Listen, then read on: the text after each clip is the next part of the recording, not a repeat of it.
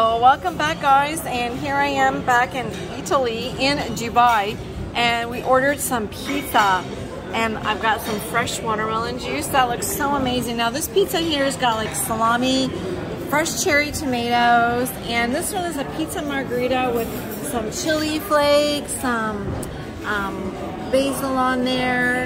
It looks in olive oil. It looks so tasty. You guys have to come here and try this out. Now this pizza looks amazing. At first, the young man didn't know uh, that we in Canada like cherry tomatoes, so I had to tell him, please put some, and look at this pizza. Oh my God, it looks so good. Thin crust pizza. Well, I'm gonna dig in and I'll let you know how it is. Stay tuned for more food and delicious, tasty treats.